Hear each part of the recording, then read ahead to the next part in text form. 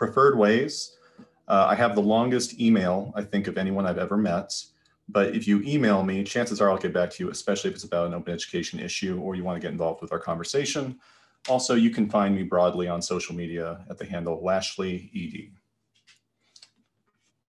And to kick things off, I want to start with another speaker, actually.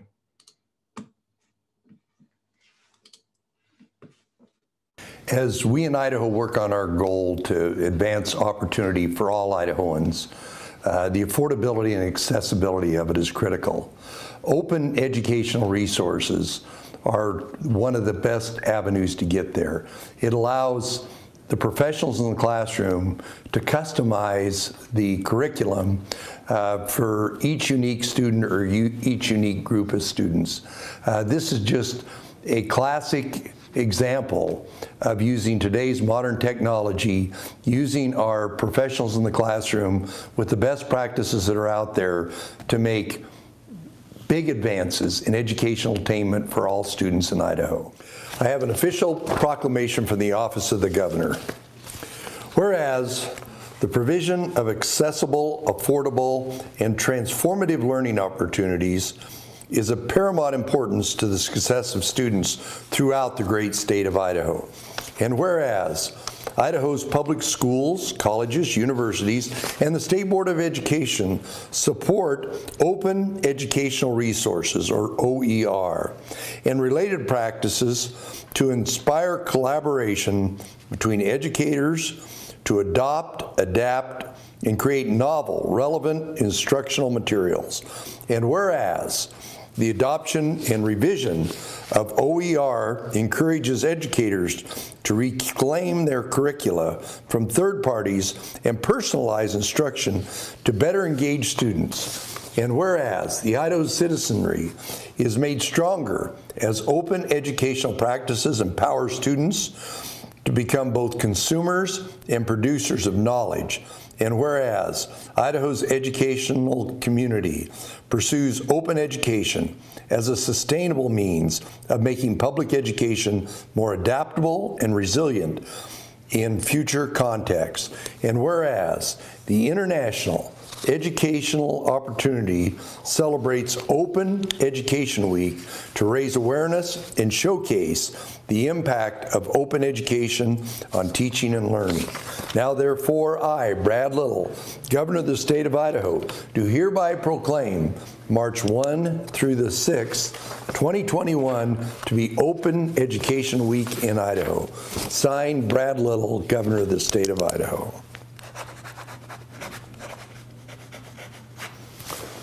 Show it again. And uh, how about that? It's one of those those moments I think in at least my last four years of working in Idaho higher ed that it always seemed like we get to this place, but I think it really speaks to the power of this conversation, the persuasiveness of it, that uh, this is actually officially Idaho Open Education Week for the first time. Okay. As and also, uh, as Kristen mentioned, if you want to talk about this on social media and get trending, I suppose, uh, we have a hashtag. It's OE Week Idaho. But this is a welcome session as well as a general just survey overview of where the conversation is, at least as I see it. Uh, a part of my role in the board office is coordinating open education initiatives across the state which really what that means is me going out and exploring all the good work that is already going on and helping provide platforms, resources, and support for, for people to realize their goals as aligns with open education. So uh, real quick shout out to Idaho State for their efforts in organizing this. We did have a committee, but really, um, and specifically Kristen Whitman and Daphne Sang, they, they led this effort this year and we really appreciate Idaho State hosting this year's events. Uh, and I also want to, you know, give a shout out. I do this often, but the Idaho State Board of Education really cares deeply about this issue, um, as evidenced by the proclamation. And I'm really grateful for the platform that they're giving all of us. As Krista mentioned, this is our planning committee. Uh, many of these collaborators I've worked with for a number of years. And uh, this is the sort of group that you would be networking with if you decided to start um, participating in email threads and weekly meetings with us. And of course, any of these meeting obligations are completely drop in and drop out. But uh, Bob Casper, he's a great supporter of uh, designing with OER as an instructional designer at Boise State. Uh, Daphne got a lot of shout outs last week, and you'll, you'll see this in the videos um, that ISU posted for her work in terms of pairing faculty with not only instructional design support, but also the technology that they need to realize some of their goals. Uh, Harold Crook single-handedly launched one of the, um, I think, most interesting low-cost course material initiatives in the state up at Lewis Clark. And I know later this week he'll be talking about that program. Uh, Kristen has really been the, the project manager and organizer on this. And she's actually out of this list, she's my um, most recent collaborator. Uh, I've only known her, uh, I think, for about a year now. And it's pretty incredible just where the conversation's gone in our state just in the last year, but also at ISU specifically.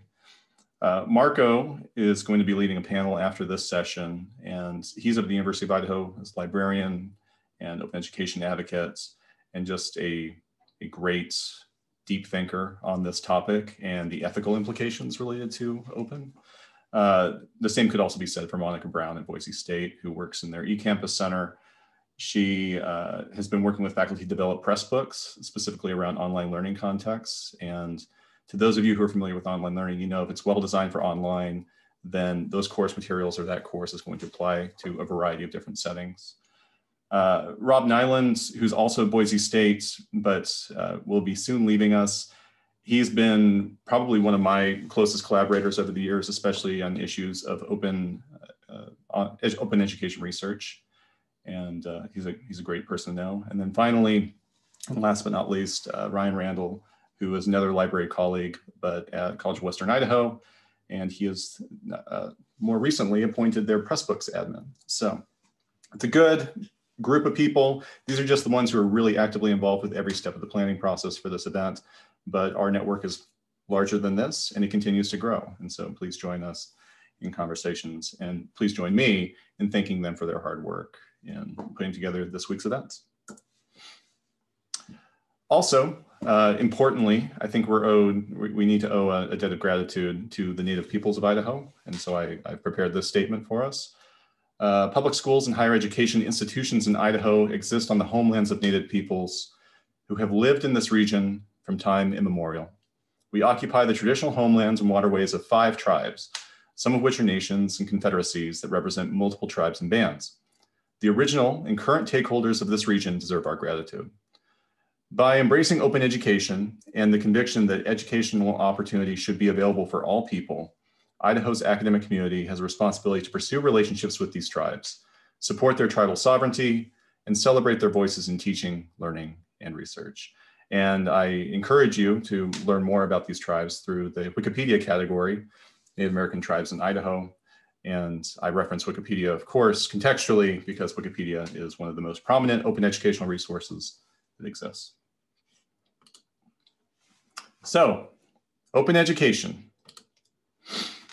I have tried to take all the complexity of open education, and if you view my asynchronous video that I recorded last week on the basics of OER, you'll understand that there's a lot more to the discussion than just a small graphic. But open education is a global movement to democratize access to meaningful lifelong learning opportunities. And we go about this in in, in my mind, in three primary ways. Through open licenses or licensing of content, a formal granting of permissions, and it's important that that permission is explicit so that you can guide use. Uh, one of the applications of open licenses that's well known is open educational resources. These are teaching, learning, and research resources that are openly licensed or they reside in the public domain. And the availability of these open educational resources engender open pedagogy, practices that prioritize open creation and maintenance of knowledge with others. It's about sharing and exploring new ways of promoting access to knowledge. I like to start with some shared definitions. Hopefully these definitions will scale and buoy you throughout the week. Uh, and so I like to talk about open in the context of how other people talk about open with regards to open education. David Wiley, uh, the man who coined the term open content and is seen as one of the, the early prominent figures of the modern open education movement, for many years referred to open as free plus permissions, free meaning free of charge, permissions, um, again, being associated with those open licenses. Uh, to be more descriptive, he started evolving that definition to free plus a granting of permissions, recognizing that an author is granting permission to others to adapt and modify and revise um, one's, one's intellectual property. Uh, Ryan Merkley, the former CEO of Creative Commons, Creative Commons being one of the, the primary formal open licensing uh, organizations, I was privy to a keynote of his where he was putting forward the definition of 5R permissions plus value. Uh, 5R we'll talk about in just a second, but these are the sort of affordances you get through open licenses and specifically through Creative Commons. And value, taking a conversation that's often predicated on cost and how do we eliminate cost or how we dramatically reduce cost to be, I think, a little bit more constructive where he's talking about value. The idea that you can have free resources that are also incredibly valuable and can maybe even uh, maintain relevance across a lifetime. One I like to play around with just because I like the word important. Uh, I was rewatching my video from last week and I think I used the word important just in speech probably 150,000 times. But again, I think the importances are really important in having explicit license to do things with content is necessary for just the security of being creative with, with someone else's work. But then the importance, again, buoying that concept of value and also the ethical imperative that we make sure the work that we're doing and sharing and releasing um, openly is portable. It's accessible, not only in lowercase a accessibility that's available, but also it meets modern standards and evolving standards of accessibility and consideration. And effectively, it's going to create meaningful importance for other people. But one that I also love is just the general feeling that you get when you talk about openness, openness as an emotional positive thing. And I, I rely on this on a regular basis, this tweet from my colleague, uh, Christina Hendricks, who coincidentally is an Idaho native, but she runs the um, Center for Teaching and Learning at University of British Columbia. And she was doing some research and found this great line from 1975 uh, where uh, Hill, who has an advertising background, is talking about open as it relates to open education and says that immediately one uses it, the word open, and options polarized. To be open, depending on context, is to not be closed, restricted, prejudiced, or clogged, but free, candid, generous, above board, mentally flexible, future oriented, I think these are all qualities that we want to find in education. And for those of us who are advocates of open education, I think this is a, a, a common rallying cry. Open licenses. Oops, missed one. Oh no. Oh no, we're going backwards. There we go. Open licenses often look like this. Creative Commons is probably one of the best known, if not the best known um, organization providing open licenses today. We see them all over the place, everything from TED Talks to OpenStax textbooks to individual websites. And when I was discussing explicitly giving direction about what to do with the content, uh, this is what I'm talking about. We have in technical terms, a CC BY license means that you need to offer recognition to the original author. Share alike means you're using the same license, but also offering a, a original um, credit to the author. Non-commercial NC means you can't sell it. ND means no derivatives. And sometimes you might see uh, a PD or a CC0, which just means it's part of the public domain. And we can get way into the weeds, but that's not what I'm here for today, this morning. Again, I encourage you, if you have time to spare, either check out the session that I recorded last week with Kristen or uh, visit the Creative Commons website for more information. But important for this conversation are these affordances I was talking about earlier with the five R's. The ability through open licensing to retain content, copy it, and keep it forever. Uh, the ability to reuse it forever. The ability to revise, modify, remix, and improve freely this work. And I reuse the word remix, but just to further emphasize remix, combining original open content with your own original work to create super content, super open content through a remix, and redistribute otherwise share widely. Um, all of this work is predicated on the interest in others of sharing for the benefit of society, for our community. And so in context of education, open content is free of cost, meaning it's available. It's malleable, meaning it's relevant. You can adapt it for different contexts, learning environments, and so on. And it's authorial, meaning that people who get in the practice of using open content likely become editors and authors and share that content again. And this breathes new life into that original piece of knowledge. This is how we keep building and maintaining knowledge over time through open educational resources. OER. The Hewlett Foundation tends to be regarded as, as the group whose go-to definition for OER is the most exhaustive and specific. And so open educational resources to them, and I think to many of us, are teaching, learning, and research materials in any medium, digital or otherwise, that reside in the public domain or have been released under an open license that permits no cost access, use, adaptation, and redistribution by others with no or limited restrictions. Open pedagogy is something that materializes again with OER in the mix as a tool that educators can use in their classrooms. And what I like is that it buoys what would otherwise just be um, good pedagogical practice and makes it sustainable. And so Stephen Downes, a, thinker and, and, futurist of sorts on education back in 2007, in the context of OER was talking about use and that the use of a learning resource through adaptation and repurposing becomes the production of another resource.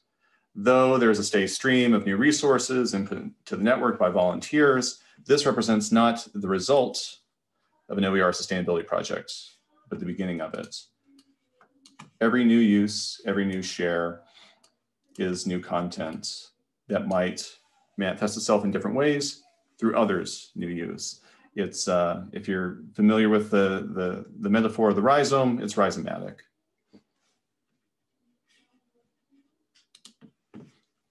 And here's a diagram kind of rough, roughly laying out what open creation as pedagogy looks like, where whether it's you're sponsored formally by an institution uh, through one-time or exceptional funding, or the fact that you're just a salaried educator who has initiative, uh, authors are creating content that can use, be used for educational purposes, openly licensing it, in this case with Creative Commons, What's important, however, is just because you openly license something doesn't mean that you're waiving your copyright. It doesn't mean that it's no longer your intellectual property. In fact, Creative Commons functions more like a wrapper around that IP, telling people exactly how to ingest it, how to use it, what to do with it. And so then it gets passed on to learners who, in certain specific educational contexts and class settings and assignments, become authors themselves. And there are going to be a number of sessions this week where faculty have been experimenting with this and exploring this in their classrooms in Idaho, not just recently, but for many years. But it's important to keep in mind that OER is just a means to an end. It's a means to an end because really when we're talking about open education, we're talking about relationships. Relationships between knowledge, learners, and instructors, relationships between sharing the goals of people who occupy the same space, digital or otherwise, and collaborations.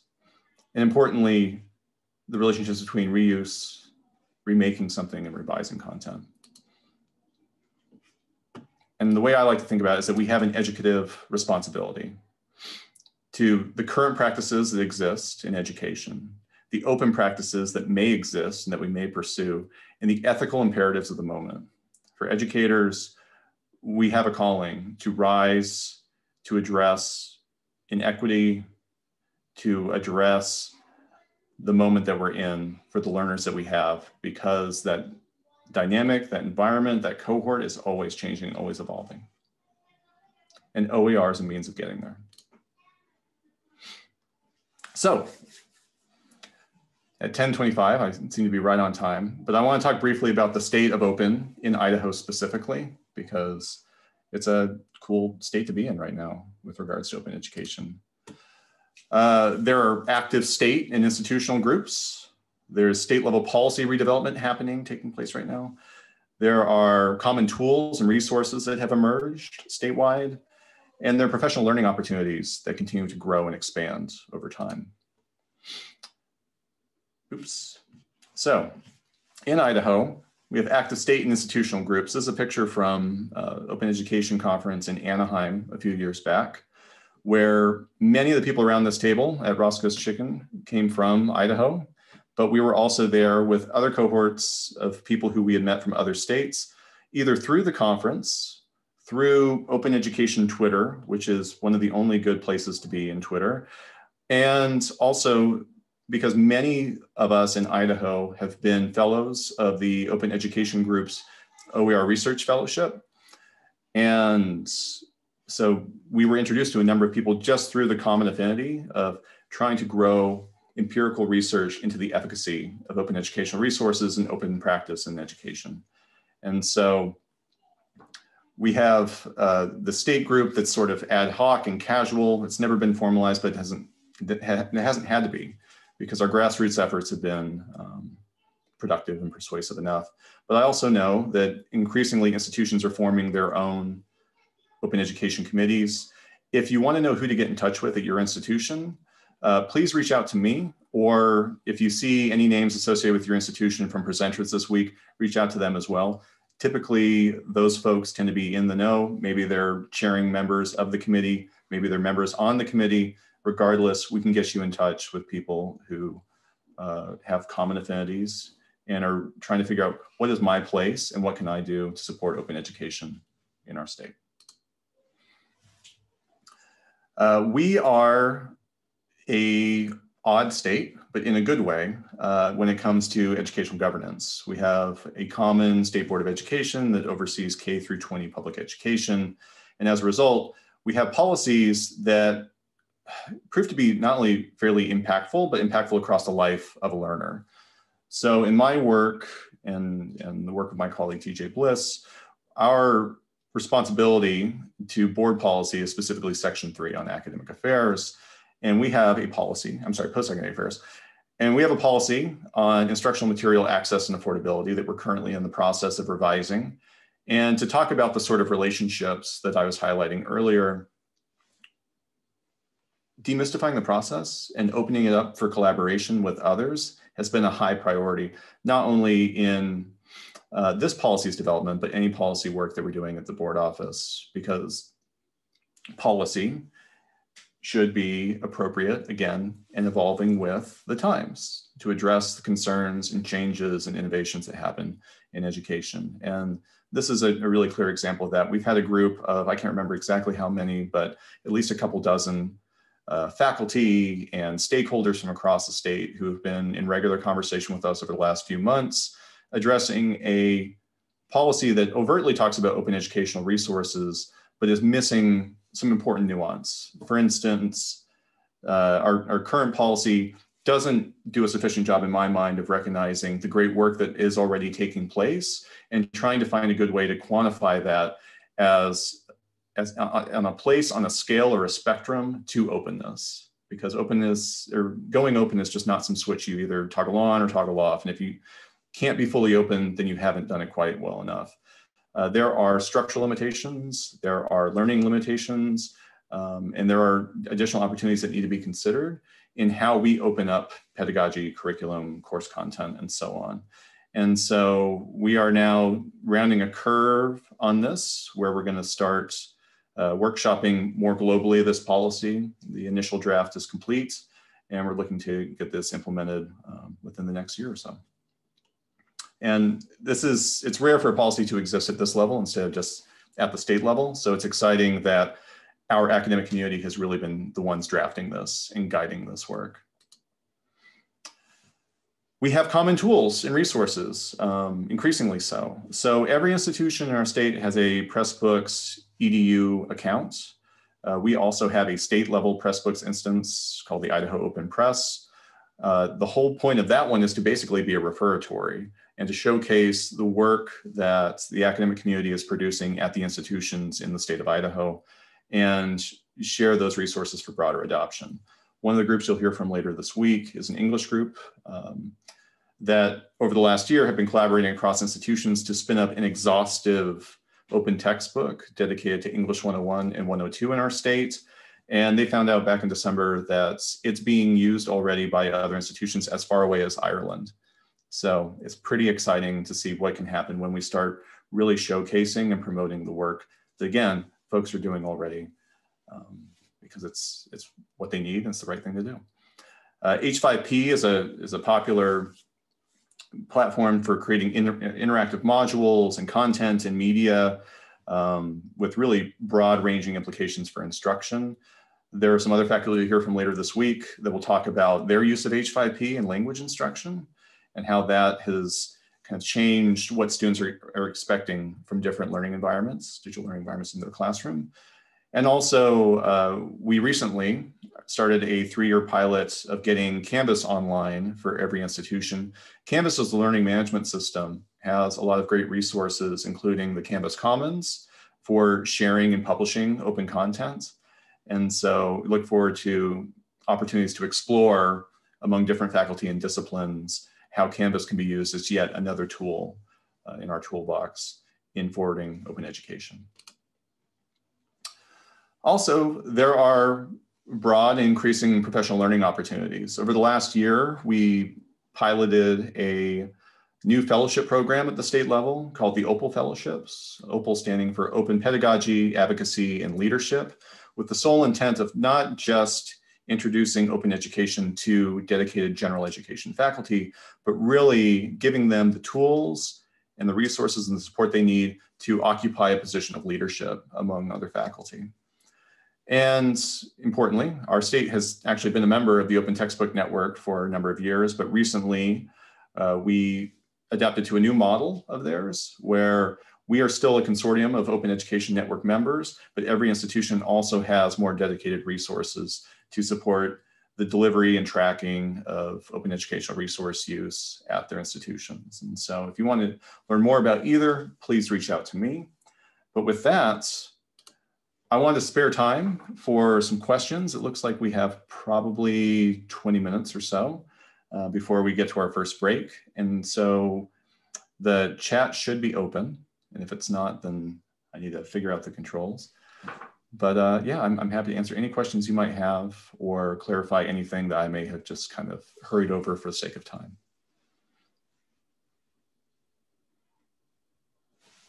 And Kristen, you are muted. Sorry.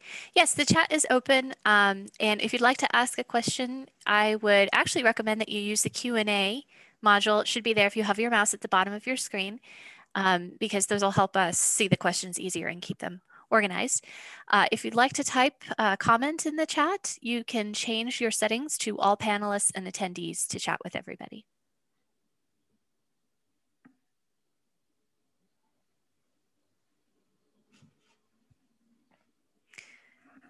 Okay, we do have a question. Jonathan, can you give a little bit more information about the OPAL program? What sorts of things does it cover?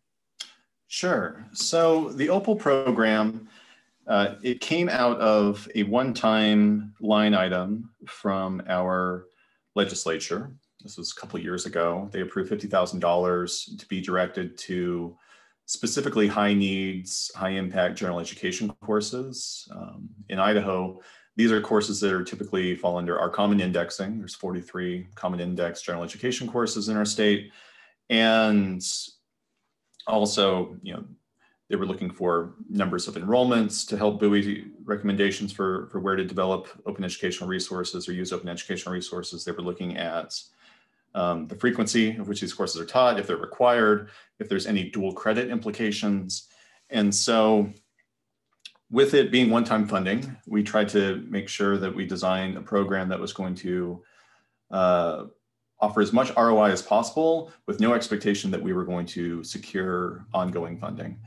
Uh, what that meant was being very, unfortunately, very selective with where we spent $50,000 because $50,000 goes really quickly in this context. But also, and I think to the credit of the legislature who authored this line item, the they really wanted to see collaboration happen across institutions. And so this was also an opportunity to get more community college faculty into the mix. This is something that previously I hadn't really seen from a state funding um, position.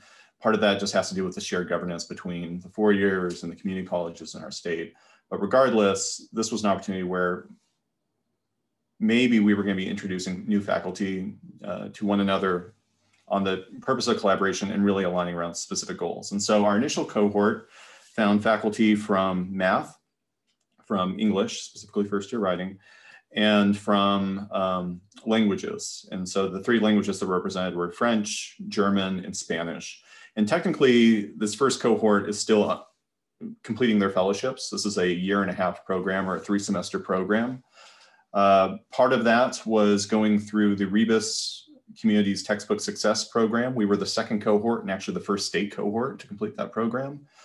Um, and they, Rebus was so excited about us that they actually allowed us to bring in a, a separate group that was non-academic, that's, that comprises librarians across the state. We have a public librarian, academic librarians, and members of the Idaho Commission for Libraries. I think I saw in the attendees today that some of them are in the mix. Uh, so they can talk about their project as well. But that's the fun thing is we're focusing on the affinities of what are our goals and how can open education or open publishing or open licensing help us get there. So for librarians in our state, they're really focused on information literacy and how can we make this content more digestible and accessible and available. Uh, but then for the, the more dedicated academic fellows of the OPAL program, with, like I mentioned earlier, with English, it was trying to take all of this mass of open content and open educational resources that exist for first year writing and consolidating it down to just what exhaustively these three faculty member or four faculty members thought that they needed um, in their work with other faculty, in their work in teaching their own classes, to try and just winnow their recommendation, recognizing that their recommendation was good enough. They didn't have to create the one piece of open content related first year writing that was going to destroy them all because there's a lot of good content there and it could have just been tweaked. And already they're thinking about what is the ongoing maintenance and continuous improvement of this resource going to look like. But also their project is probably the most traditional of the, the um, Opal Fellows. In languages, it was exploring how to deliver instruction, how to shake up assessment, how to make it more interactive, especially because of the digital learning context that arose over the last year. And so tools like H5P or redeveloping new media and content based off of um, older digital textbooks or updating content for specifically the context in Idaho and the classes that they're teaching. These were all uh, smaller scale OER efforts in terms of the size of the artifact, but still um, just as not just just just as complex, if not more complex, than the open textbook project project of the um, the English group. And then finally, the math group, they hunker down really early on around a common goal. And I know they're presenting on this later in the week. And what's great about that is the goal has persisted from the very beginning. And their goal was how do we make non, or how do we encourage non-STEM majors to value math concepts? The math concepts that we teach are valuable. We think they're valuable. How do we repackage these in a way that's going to be really compelling for non-STEM majors? And that went toward a textbook for a while, that went toward a workbook for a while. And now, where it's uh, taken the, the most recent turn, is how do we also get other faculty to share this perspective with us? And so they've been going through and documenting the sorts of assignments they're teaching toward this end, and they'll be releasing those in a compendium for faculty to consider adopting at the end of the semester. And so, really exciting initial projects for this. What we're exploring right now is what uh, ongoing funding, if we're able to secure it, could look like and how it could be applied, how we could change this opportunity. But I do think uh, just with the, the early outcomes that we're seeing and documenting with this, we're drafting at least a really compelling uh, pitch for what the, the future of this program or similar programs could look like at our institutions. So thanks for asking, Muffet. Great. So we have another question. Uh, good session. Could you touch on a few more successes and challenges in Idaho to implementing more OER practices? Sure. The and, and was there a name? I love having a name with a, a question. yes, this a question is from Stephanie Bailey White. Oh, thanks, Stephanie. So for a long time, I had a really easy answer to that question, and it was awareness. Um, we the, the biggest hurdle that we had to overcome as a state was building awareness and hunkering down around a shared vocabulary or having a shared understanding about what this work is and what it isn't. Uh, I think awareness is increasingly less an issue now, but that's not to say that it's not something we still need to protect. And, and it's something that I try to do with these presentations as well, is making sure that we're starting off with shared definitions or just really explicitly volunteering what my perspective is. Because um, if there's disagreement, we need to make sure that we get ahead of that instead of letting people, um, you know, run run with misassumptions about what we mean when we say open education and what the labor burden of this work looks like. Because there is an invisible labor, um, there is a cost to supporting open work. And in uh, my, my session last week, because I got into the greater context of where open education is getting really persuasive right now um, in this moment, cost is a, a, factor not only for students, but also where's the funding going to come from for our institutions when funding mechanisms have also uh, shifted so dramatically over the last 20 years or, or more. And so funding, of course, is going to be an issue because time um, deserves compensation. The, the, the, time of our educators, the time of our students, anyone who's making this work happen. Uh, but then that, of course, leads to time and time being an issue, especially in a year like the one that we just had, where we're all effectively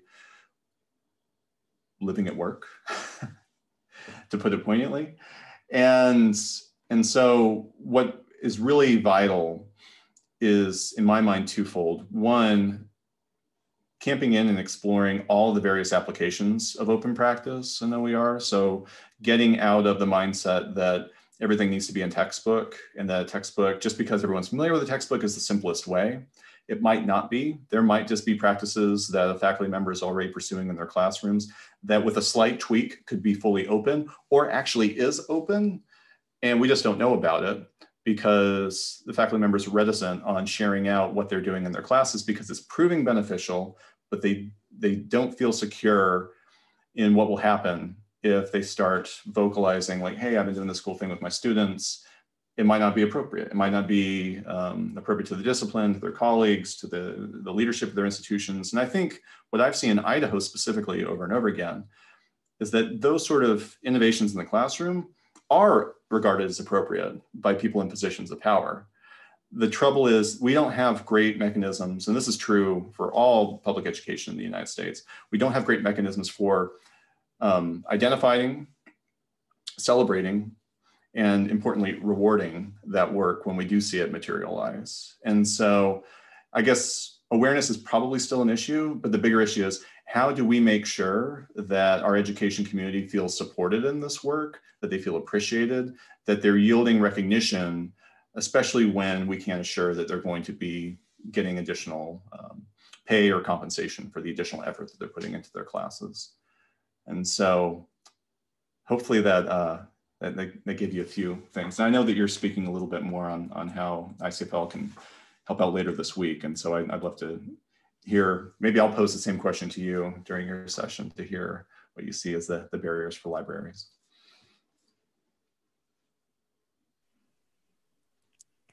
Awesome. So we have a couple of comments. Um, Muffet Jones said that she looks forward to hearing more about the cohorts work, the Opal cohorts work this week. And there's a comment for you in the chat, Jonathan, from TJ, if you want to take a look. Oh, and okay, great. Well, so Muffet, to further answer your question, uh, TJ has assured me that it's looking like we will have ongoing funding for the Opal Fellowship. So within the coming months, expect a um, call for new proposals for Opal 2.0.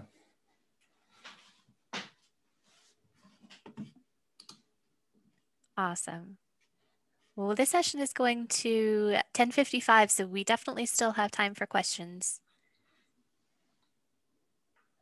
I saw a couple of people join us around the half hour mark. There was a last minute change to the scheduling. Um, so you may have been joining for a presentation that was moved, so I apologize. Uh, but if you have any questions for Jonathan about OER in Idaho, you are welcome to ask them.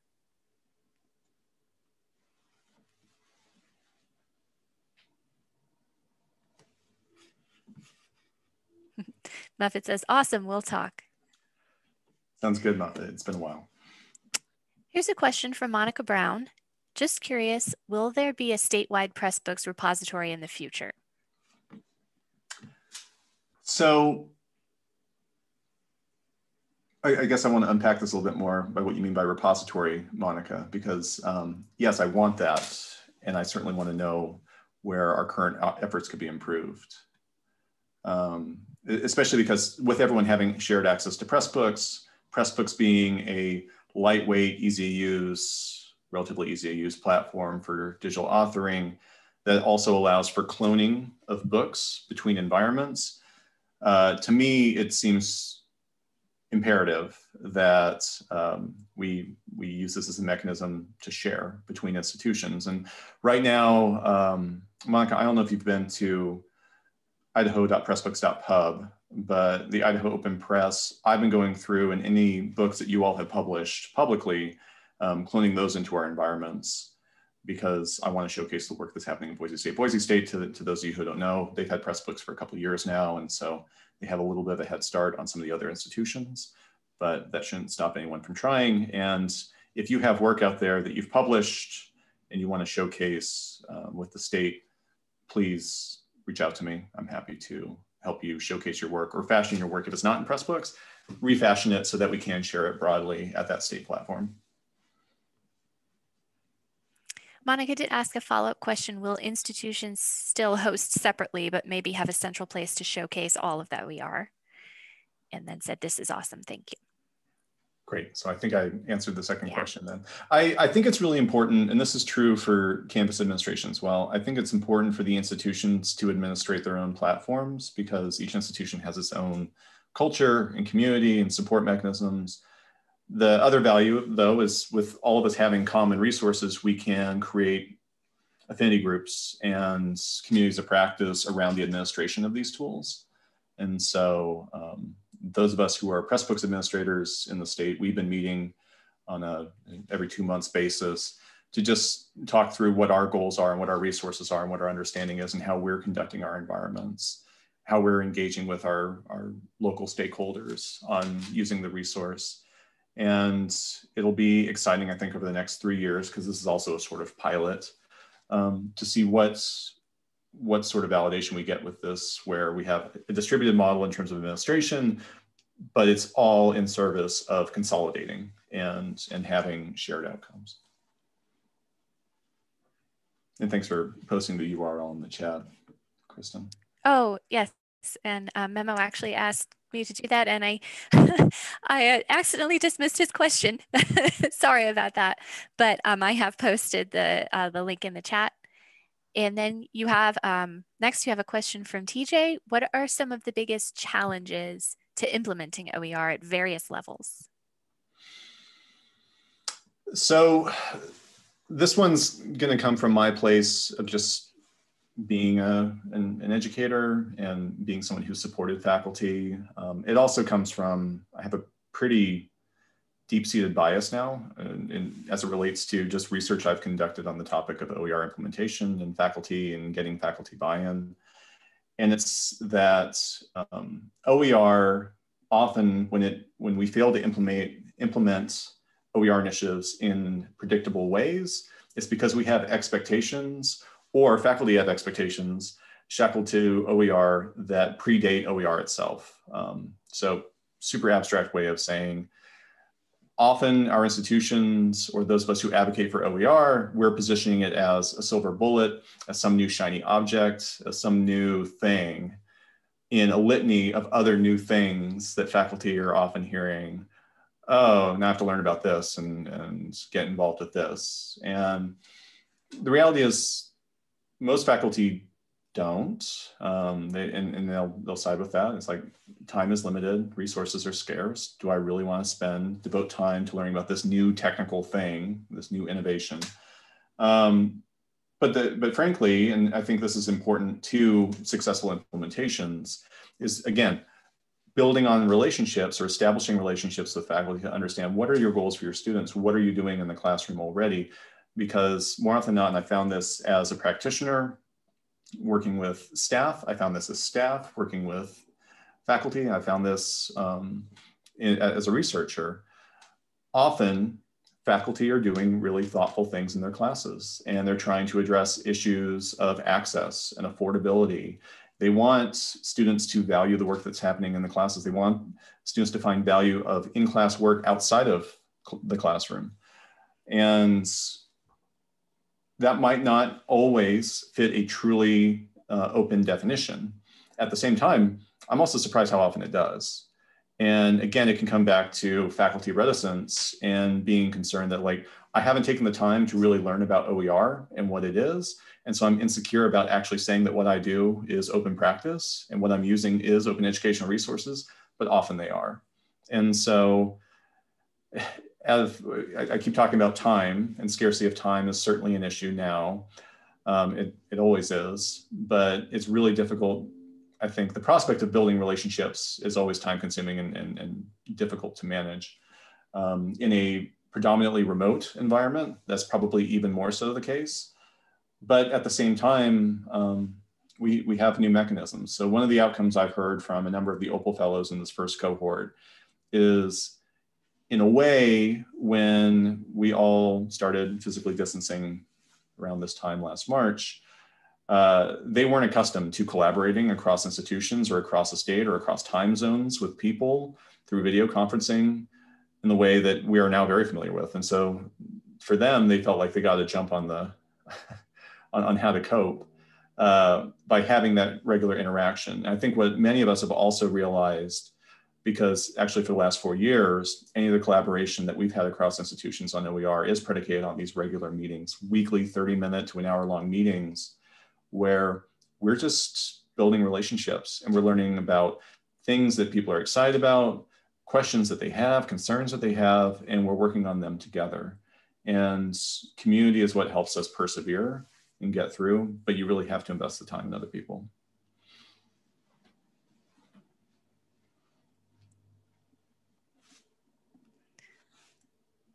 Fantastic. Um, we have time for one more question. Or no one would ever be mad for adjourning early if no one else wants to ask anything. I have a, I have a comment.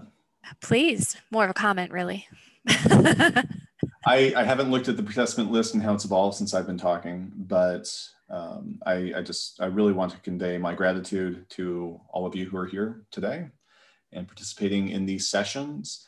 And I encourage you to tell your friends, make new ones, and really throughout this week, pay attention to the relationships that you're seeing emerge between people um, and, and the work that they, that they do, and try and find those points of alignment with your own work because uh, this is an effort that doesn't have to be just relegated to regular working hours. Um, and, and, though it should, if you're looking, if you want to maintain a healthy lifestyle and healthy um, home life. That said, uh, we're looking for collaborators and everyone brings their own unique perspective. And so uh, I just encourage you all to find your, your passion and, and your point of enthusiasm. Fantastic. Okay, so we'll break. We'll start up again at the hour. Um, but for right now, we can go ahead and go on mute and take our break.